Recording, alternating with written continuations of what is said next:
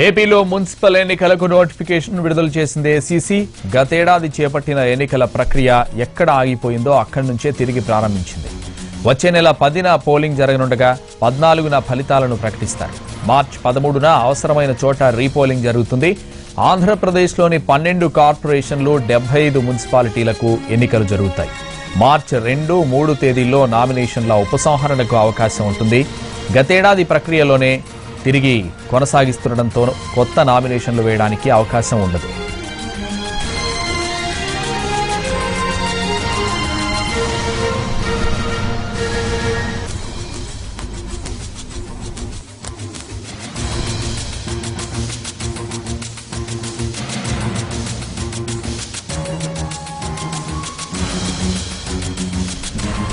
Municipal ఎన్నికల నోటిఫికేషన్కు సంబంధించి మరింత సమాచారం మా ప్రతినిధి పిఎంఆర్ చంద్రశేఖర్ అందిస్తారు. పిఎంఆర్ మున్సిపల్ ఎన్నికల నోటిఫికేషన్కు సంబంధించి అప్డేట్స్ ఏంటి?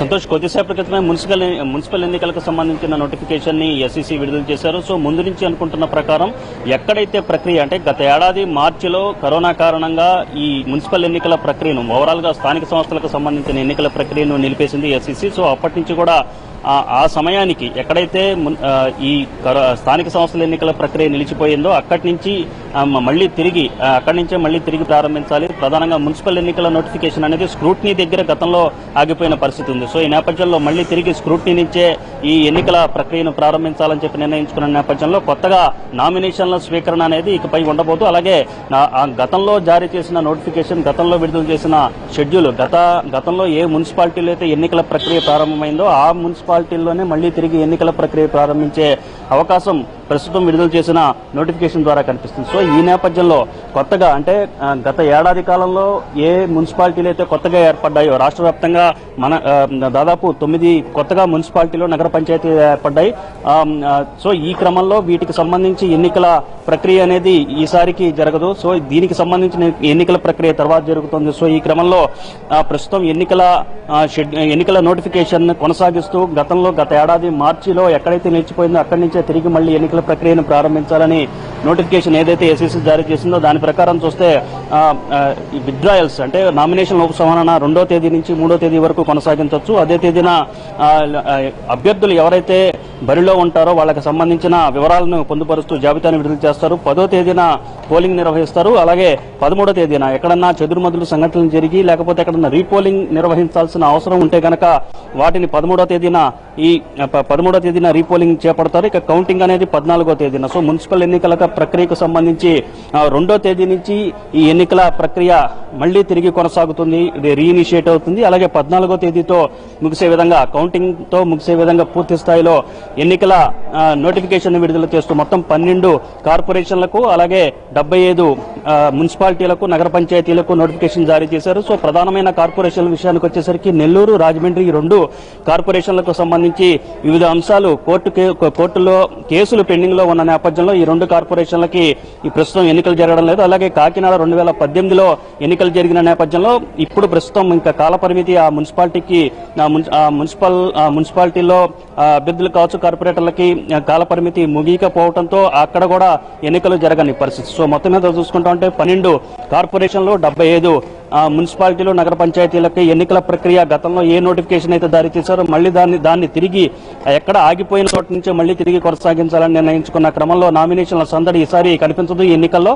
ఇవాళ నుంచే ఎన్నికల కోడ్ అనేది మొత్తం అర్బన్ ప్రాంతాల్లో అర్బన్ ప్రాంతాల్లో అమల్లోకి రానుంది. సో దీనికి సంబంధించి అధికారులు పూర్తి స్థాయిలో చర్యలు తీసుకోవాలి. ఎన్నికల కూడా అమలయ్యే విధంగా అన్ని రకాల చర్యలు తీసుకోవాలని ఆదేశాలు ఎస్సీసీ నుంచి వెళ్ళిన నేపథ్యంలో ప్రభుత్వ పథకాలు ప్రధానంగా ఇంటింటి రేషన్ వ్యవహారం అనేది ఇప్పటికీ ప్రస్తుతం రూరల్ ప్రాంతంలో అమల్లో ఉంది. కానీ అర్బన్ ప్రాంతాల్లో అమల్లో లేదు కాబట్టి సో అర్బన్ ప్రాంతాల్లో కూడా ఇక ఇంటింటి రేషన్ కార్యక్రమం నిర్వహించే అవకాశం ఇకపై ఉండదని చెప్పి చాలా స్పష్టంగా చెప్పొచ్చు. సో మొత్తం మీద చూసుకుంటా ఉంటే ఎస్సీసీ మొదటి నుంచి చెప్తున్న విధంగానే మొదటి నుంచి వస్తున్న సమాచారం మేరకు ఎన్నికలకు సంబంధించిన మున్సిపల్ ఎన్నికలకు సంబంధించిన కసరత్తును ప్రారంభించింది. సో దాంట్లో భాగంగానే గతంలో ఆగిపోయిన మున్సిపల్ ఎన్నికల ప్రక్రియ ఎక్కడైతే ఉందో స్క్రూటినీ వరకు గతంలో ఎన్నికల ప్రక్రియ జరిగింది. సో అక్కడి నుంచి తిరిగి మళ్ళీ ప్రారంభం కానుంది. సో దీనికి సంబంధించి పట్టణ ప్రాంతాల్లో అంటే ఒక విధంగా ప్రస్తుతం ఇప్పుడు రాష్ట్ర వ్యాప్తంగా ఎన్నికల గోడ్ అటు పట్టణ ప్రాంతాల్లోనూ మరొక వైపు రూరల్ ప్రాంతాల్లో కూడా ఎన్నికల కోడ్ అమల్లో ఉందని చెప్తూ వస్తున్న నేపథ్యంలో దీనికి సంబంధించిన అధికారులు అధికార యంత్రాంగం పూర్తి స్థాయిలో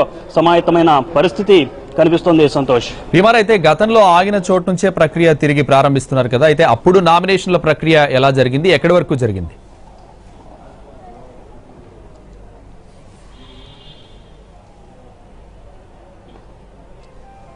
గతంలో నామినేషన్ల ప్రక్రియ అంటే గత ఏడాది మార్చి ఇరవై ఏడో తేదీన నామినేషన్ల ప్రక్రియ అనేది ఆగిపోయింది. అప్పట్లో మున్సిపల్ ఎన్నికల నిర్వహణకు సంబంధించి ఇదే విధంగా నోటిఫికేషన్ జారీ చేశారు. మొత్తం పన్నెండు కార్పొరేషన్లు ఇరవై డెబ్బై ఐదు మున్సిపాలిటీలు నగర పంచాయతీలకి నా అప్పట్లో నామినేషన్లు దాఖలు చేశారు. సో ఈ సందర్భంగా నామినేషన్లు నామినేషన్ల కార్యక్రమం జరిగింది. నామినేషన్ల స్క్రూటినీ దశకు వచ్చేసరికి ఎన్నికల ప్రక్రియ నిలిపివేస్తూ ఎస్సీసీ అప్పట్లో నిర్ణయం తీసుకుంది. అప్పట్లో ఇచ్చిన గతేడాది మార్చి ఇరవై ఏడున ఇచ్చిన నో- నోటిఫికేషన్ కావచ్చు అప్పట్లో చేసిన ప్రకటన ప్రస్తుతం కరోనా కారణంగా రాష్ట్ర వ్యాప్తంగా ఇబ్బందులు తలెత్తుతున్న నేపథ్యంలో కరోనా వైరస్ వ్యాప్తిని దృష్టిలో పెట్టుకుని ఎన్నికల ప్రక్రియ నిలిపివేస్తున్నాం. మళ్ళీ తిరిగి ఎక్కడైతే ఆగిపోయిందో అక్కడి నుంచే తిరిగి ప్రారంభిస్తాము అనే విషయాన్ని చాలా స్పష్టంగా గతంలోనే ప్రకటన చేసిన నేపథ్యంలో. సో ఈ క్రమంలో గతంలో చేసిన ప్రకటనను దృష్టిలో పెట్టుకుని మళ్ళీ అక్కడి నుంచే తిరిగి ప్రారంభించాలని ఈ ఎన్నికల సంఘం ఎస్సీసీ భావించింది. సో దానికి అనుగుణంగానే ప్రస్తుతం గతంలో ఇచ్చిన నోటిఫికేషన్ అనుగుణంగా ఎక్కడైతే ఎన్నికల ప్రక్రియ ఆగిపోయిందంటే స్క్రూటినీ దశలో ఎన్నికల ప్రక్రియ అనేది గతంలో ఆగిపోయింది. సో ఈ క్రమంలో ఇప్పుడు మళ్ళీ తిరిగి అక్కడి నుంచే అంటే నామినేషన్ల ఉపసంహరణ నుంచి తిరిగి ప్రారంభిస్తున్న పరిస్థితి తాజాగా ఇచ్చిన నోటిఫికేషన్లో కనిపిస్తుంది. సో ఈ క్రమంలో నా- నా- నామినేషన్లు సందడి అనేది ఈ ఎన్నికలలో ఉండదు. గతంలో ఏ అభ్యర్థులైతే ఆయా పార్టీలు ప్రకటించాయో ఆ అభ్యర్థులే తిరిగి రంగంలో ఉంటారు.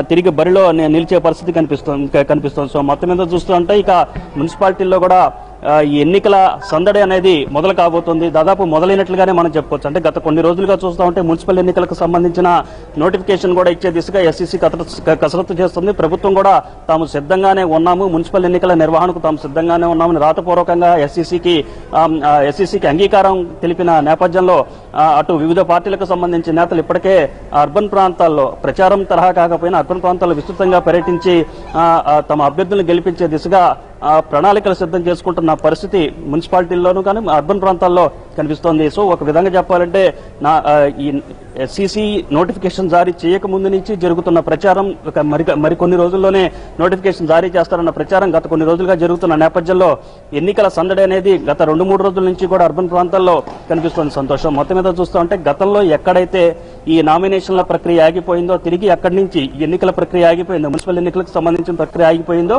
సో అక్కడి నుంచి మళ్ళీ తిరిగి కంటిన్యూ చేయబోతున్నారు. రెండో తేదీ నుంచి కొత్తగా రీఇనిషియేట్ చేసిన మున్సిపల్ ఎన్నికలకు సంబంధించిన ప్రక్రియ ప్రారంభం కాబోతుంది. పద్నాలుగో తేదీతో వచ్చే నెల పద్నాలుగో తేదీతో ఎన్నికల ప్రక్రియ మున్సిపల్ ఎన్నికల ప్రక్రియ ముగినుంది సంతోష్. భీమర్ మొత్తంగా కార్పొరేషన్లు మున్సిపాలిటీలకు సంబంధించి ఎంతమంది నామినేషన్లు వేశారు?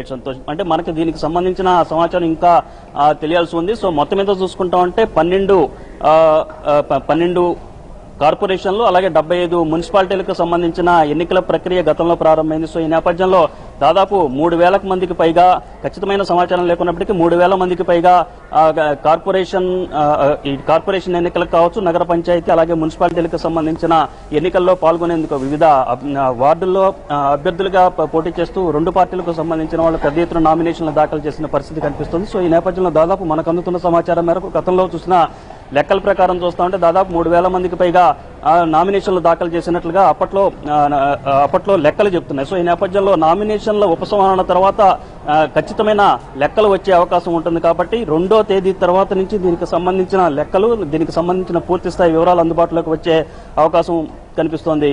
సంతోష్. Right thank you